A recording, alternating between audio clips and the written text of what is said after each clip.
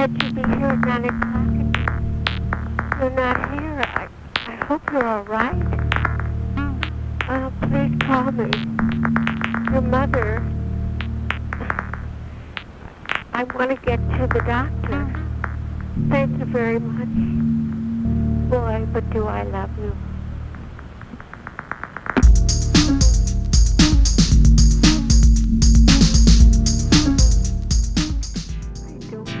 Feel that great right now, but I'm going to make it.